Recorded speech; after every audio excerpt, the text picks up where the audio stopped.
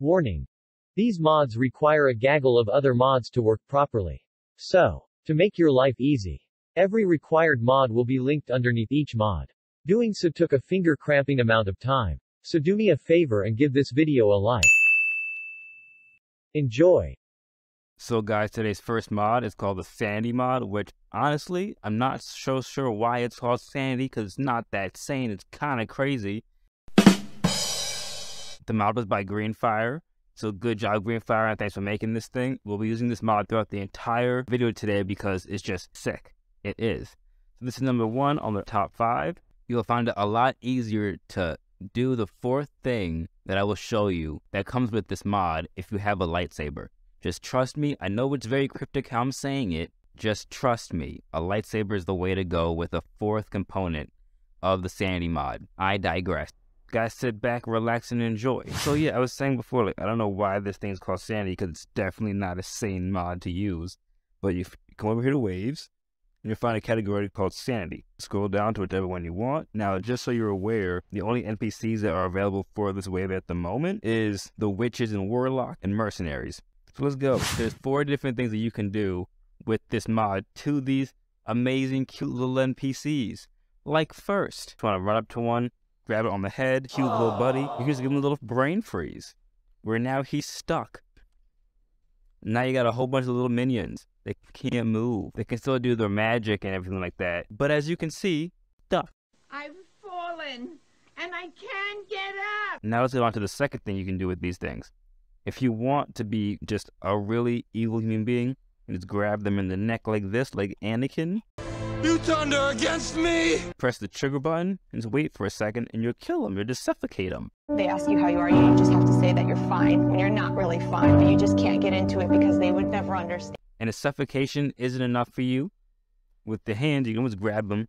Always grab their head, grab their neck, crack their neck from their body. They're done third you could do with these things is grab their face, like so, hit trigger. You gotta wait a couple seconds for this to work. There we go. You suffocated him again, but this time by not choking him out, by closing his nose and his mouth. So those are things that you can do with your hands to them. But let me show you what I meant by it's easier to do it with the lightsaber. When I come over here to the Lightsaber Legends pack, LB. There we go. Cut them in two. Watch their guts blow out. You gotta hit them very, very precisely. Yay, guts. If you want to get real extra with it, all you gotta do See, you can even throw them against a wall and their guts may just pop out their body. Since there's no more guys, on to the next mob, but we're going to keep on running this sanity wave until the video's over because they're dope. So next up, guys, we got a two-piece. We have the high-tech wrist mount, which in order to make this model work properly, you have to get the more slots mod, which I'll leave down below in the description of this video as well. Underneath this mod, put it right there. Blade. And this mod also comes with an energy pistol. So now we're to light them up and stab them up. So not that mean, but that's fine. Because we have this, which is actually kind of hard to use. As I will say, the angle of it is a little weird. So it does take some getting used to. Take the pistol. Killing out. out. No way. This thing can cut him in half too. Come here. Come here. this is working. I'm proud of us right now. You guys would be very hyped to know that this wrist mount could do way more than just spit out a blade. It can do five other very cool and very unique to help you advance in just killing and stabbing NPCs all day. You got the blade, as you know, but if you hit the trigger button on your other hand up to the controller, you can change it to a shield, like a Mandalorian shield in a way. But that's not even the best thing you can do with this thing. You can also get a blaster and just bla- oh, blast your enemies or attempt to blast your enemies Oh my god. Baby burn. But if blasting arms off isn't enough for you, or blasting bodies in half, you could always hit it again and hit them with a missile. Again, aiming this thing is incredibly difficult, but you'll enjoy it once you get the hang of it, trust me. But this thing can do more than just shoot missiles at people or shoot blasts at people or be used to stab things with. You could also switch it to Fabricator. And what Fabricator does is it makes you weapons just out the blue that you can actually grab and then use. Just grab your boy here and stab him in the face like a psychopath. And the cool thing with these wrist mounts is you can actually hold weapons in both hands and still have them. So now you can have two knives. Two knives for all your needs. Ha! No magic. No magic for you, son.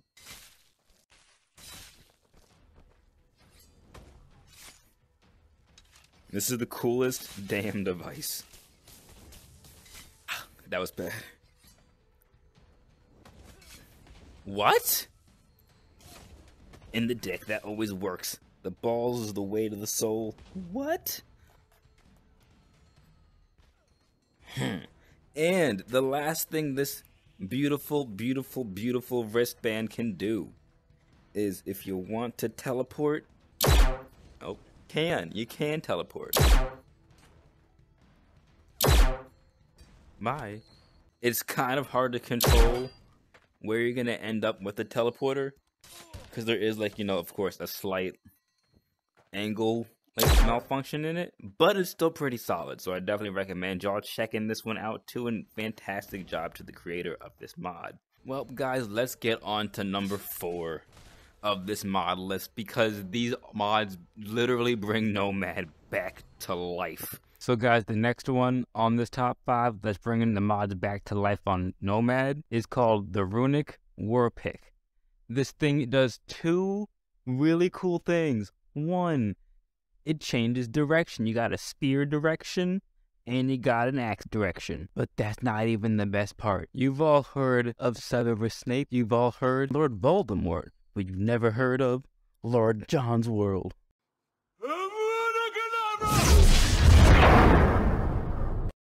Always choose to just, you know, shank if you want. Come for me. Yeah. Eh. Eh. Eh. Wow, I'm very bad at this. Yeah, no shit, Sherlock. I got magic too. I feel like the Ice Queen from frickin' Narnia right now. Before he dies. Was this how she felt the entire time? Oh my god, he, he just ate it. You good? Look at how tough we look, is lining up to take out our enemies with fierceness.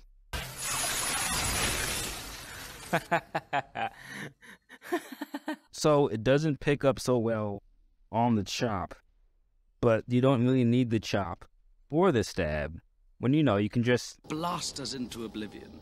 Now, I know for a fact that all of you have seen and has possibly been very disapproving of the Green Lantern series. But this mod, this ring right here, makes it all worth it and makes it all kind of better. So if you hit the spell wheel button, you'll be prompted with a dagger, a big old sword, an even bigger, bigger sword, and a pistol. And you can use all these items to stab and to blow up your enemies however you may choose. So for example, let's go first with the knife. And it glows green. Shake, shake. Down, boy. Eat the knife. Why don't you? And you can spawn as many of these as you want. You can really just straight up spawn these all damn day. And then just choose who you want to inflict damage upon. Now we can go for the mid-level sword. Now this sword looks pretty sick. Pretty damn sick, but let's see how it cuts, shall we? Oh! Oh, that looked a lot worse than it was, but Jesus. Cut like butter in a hot knife. Oh, you can't hit me. Me. Balls.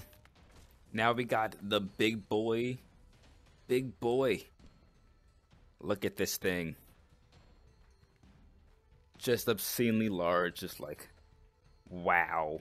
You can't hold items in the hand that has the ring on it. So for a second, I'm just gonna put this down so I can get to whipping and cutting and slicing. Cause I am a god. I missed all of those swings. You suck! Yeah. Oh. You just took that. Like a pro. That sucks to be you, don't it? And finally, guys, on to the pistol that comes with this ring. So, guys, last but not least on this ring mod, this thing is beautiful. And the cool part about this is it works a lot like a regular gun. So once you're out of ammo, six rounds, I think. Oh, six. You have to hit the spell button again to rechamber it. And it works like a pro. Don't just take that shot. Die. If you don't know already about what I'm alluding to, this should help you figure that out. Right now, with Jango Fett, it's time to get into this game and show you guys the last mod of the day that makes Nomad come back to life in a much better way. We got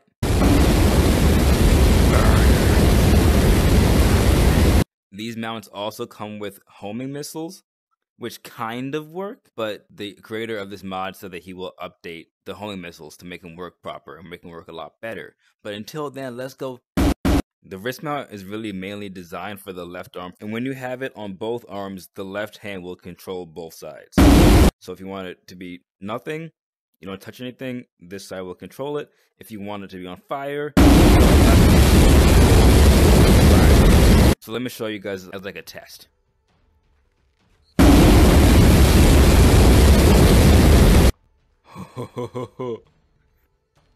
Amando.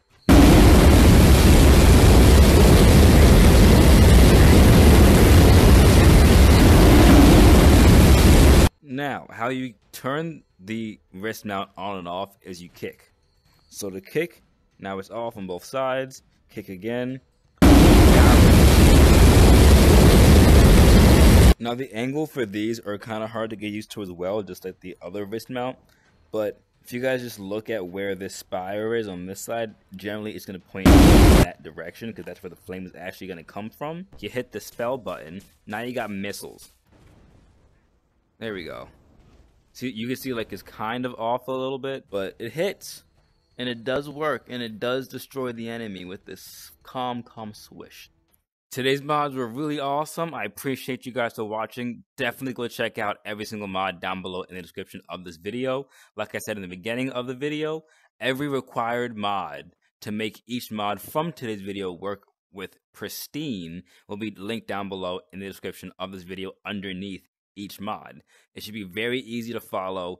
Do not miss a step because if you miss one mod that is required for the mod that you want to use to work, it won't work.